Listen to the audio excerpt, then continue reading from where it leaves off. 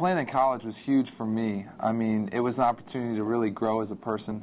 I went into college at 18 years old, left at 21, and uh, I felt like I was a pretty mature 18 year old when I went to school, but I just learned so much in those three years I spent in college. Um, it was a great environment for me, both socially, academically, uh, physically. You know, my body continued to mature.